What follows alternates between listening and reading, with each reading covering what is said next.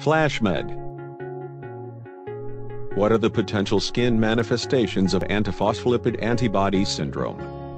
Antiphospholipid antibodies can present with livedo reticularis, skin nodules, and recurrent skin ulcerations or breakdown.